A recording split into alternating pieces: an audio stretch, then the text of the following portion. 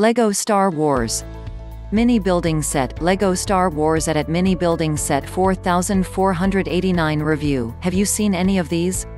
They must be the cutest of any Star Wars LEGO ever made. And for something so small the details are great. The best part is that you do not need a lot of space to display many of them. The worst part is wishing to buy them all, they are very simple to put together so for a child it would not be difficult. And they are fun to play with. Warning, very small parts for an adult, especially for a collector, this is a must-buy. My cousin has a big display of these mini Lego and they look even cooler than my other cousin's limited edition Star Wars Lego collection, and that's saying a lot. Lego toys are very, very durable as long as you do not lose any parts, very educational and if you add fun you have a great toy. If you are interested in playing with them or collecting them you will not regret purchasing this great item.